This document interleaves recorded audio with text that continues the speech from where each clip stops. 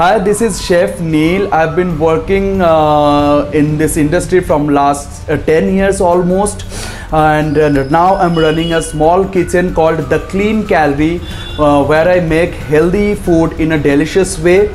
So I'm just trying to change the perception of people that healthy food cannot be delicious and delicious food cannot be healthy.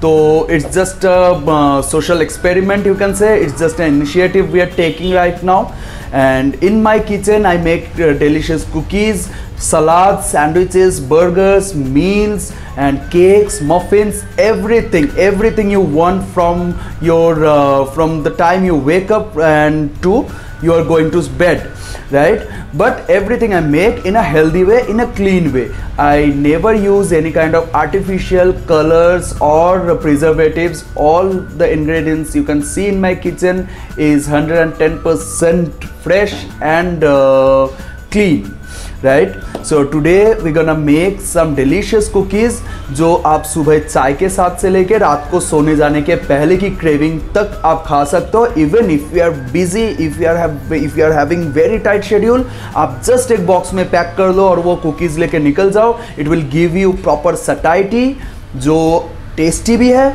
और आपकी भूख भी मिटाएगी। तो चलिए हम फटाफट कुकीज़ बनाना स्टार्ट करते हैं। बहुत ईजी है, बहुत यमी है। आपको मज़ा आएगा।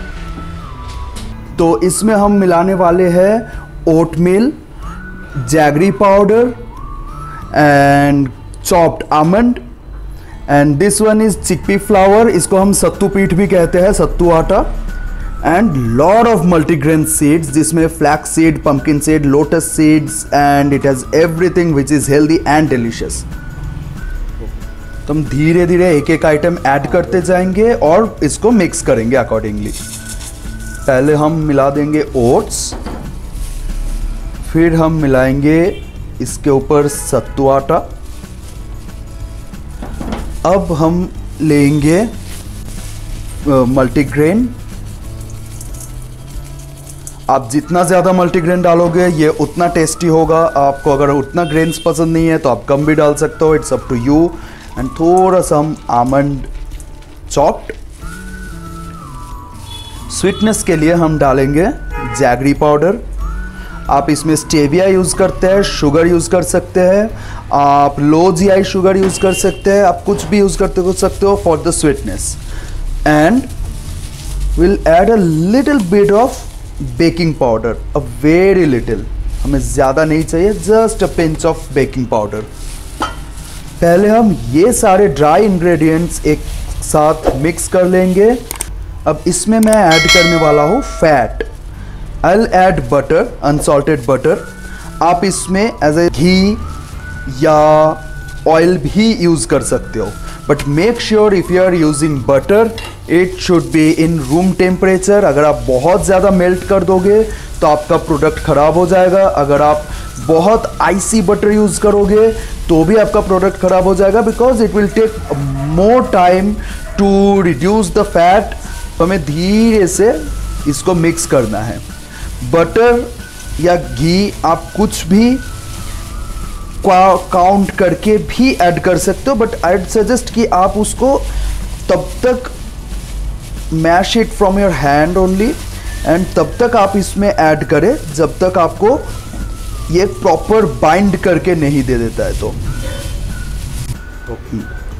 Now the dough is almost ready ठीक है। बट इस दौरान हम ग्लव्स उतार के मैं बिल्कुल ये कहना चाहूँगा कि आप अपना हाथ का इस्तेमाल करें। हाथ को पहले अच्छे से सैनिटाइज कर ले, धो ले। बट जब तक आप एक ह्यूमन टच जब तक आप इसको टच करके नहीं देख रहे हैं you won't be able to get कि आपका जो डो है वो परफेक्ट है या नहीं। स्पून या ग्लव्स में वो पता नहीं चलता है। तो आई विल प्रेफर कि आप हाथ का इस्तेमाल ज़रूर करें। तो कुकीज़ डो एक ऐसा डो है जिसको आप कच्चा ट्राई कर सकते हो, आप खा के देख सकते हो कि यह कैसा है, कैसा नहीं। तो it will taste very good even if it's not properly cooked तो आप जब भी कुकीज़ बनाए मेक श्योर कि अगर आपको कुछ डाउट्स आ रहा है कि कुछ कम हो सकता है, ज़्यादा हो सकता है तो आप थोड़ा सा कुकीज़ ले डो से, और आप उसको रख के थोड़ा टेस्ट करके देखें। आप हाथ में थोड़ा सा ले एंड ऑसम आप हमेशा टेस्ट करके देखो। अब इस डो से हम 10 से 12 कुकीज़ बना सकते हैं। चाहे तो you can make even much quantity चाहे तो आप इससे कम भी बना सकते हो। इट्स अप टू यू तो मैं इससे 10 या 12 ही बनाना चाहूँगा। 30 ग्राम्स के एक कुकीज़ विल बी सफिशेंट तो लेट्स सी थोड़ा ज़्यादा हो गया है। थोड़ा कम कर देता हूँ इसे। And will be around 30 grams के एक। अब बहुत ही सिंपल है, आप इसको हाथ से घुमाएँ एंड बहुत ही जेंटली आप इसको प्रेस करें। Now you can see the cookie is ready तो एज यू कैन सी हमारे कुकीज़ रेडी हो गए ओवन के अंदर जाने के लिए। आप कुछ भी बेक कर रहे हो make sure your oven is preheated properly बिना प्री हीट के आप डालोगे अंदर तो आपका प्रोडक्ट ख़राब हो जाएगा। हमने अपने ओवन को प्री हीट करके रखा है। अब ये डालेंगे हम ओवन के अंदर।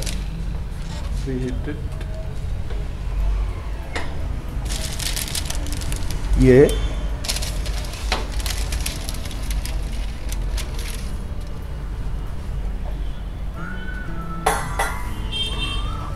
this machine is commercial machine तो यहाँ पे दोनों तरफ़ टेम्परेचर होती है।